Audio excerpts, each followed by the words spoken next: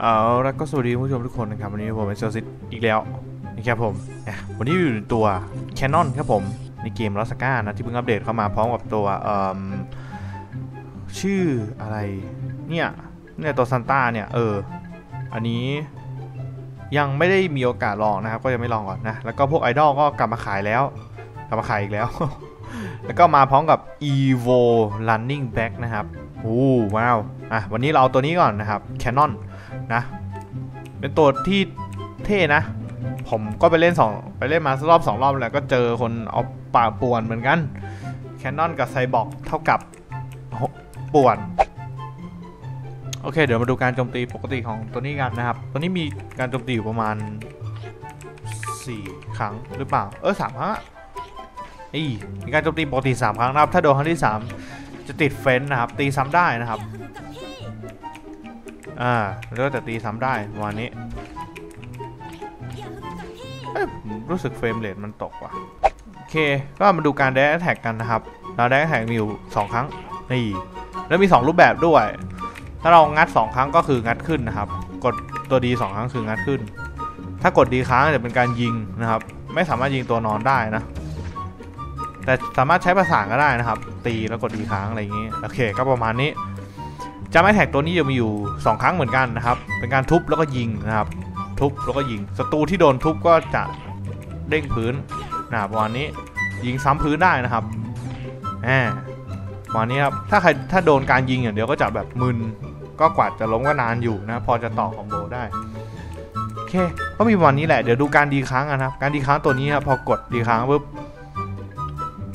กดดีค้างจะเป็นการสร้างป้อมปืนขึ้นมานะครับ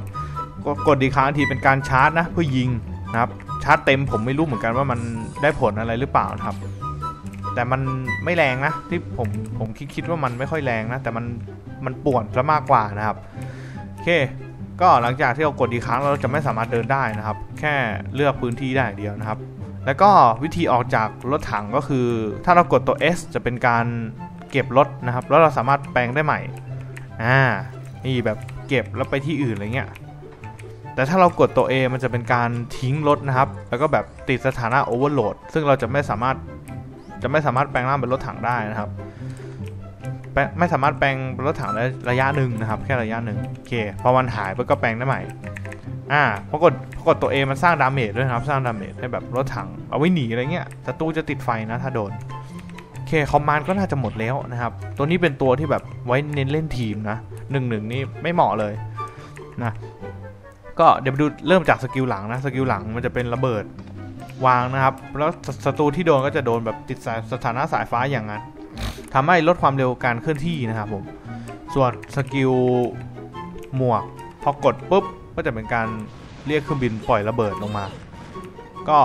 เอาไว้ป่วนไฟอะไรก็ดีอยู่เหมือนกันนะครับ ส่วน skill ชุดมันคือ Iron Man นะครับพอกดแล้วก็จะยิงอย่างนี้เลย โดนตัวนอนนะครับ โดนตัวนอนแล้วโดนไปเรื่อย ๆ ด้วย ก็ประมาณนี้นะครับประมาณสี่ฮิตไม่แรงเลยนะทีเด็ดอยู่ที่สกิลอาวุธครับผม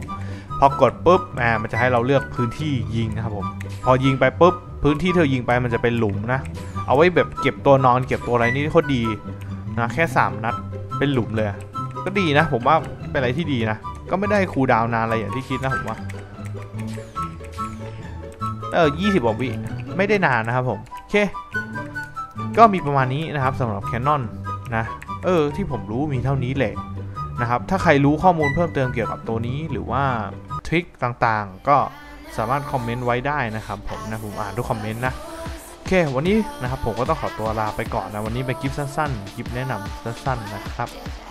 นะใครรู้ข้อมูลเกี่ยวกับตัวนี้ก็คอมเมนต์ไว้ด้วยนะครับ แล้วมาเจอกันใหม่ในคลิปหน้าสำหรับคลิปนี้สวัสดีครับบ๊ายบาย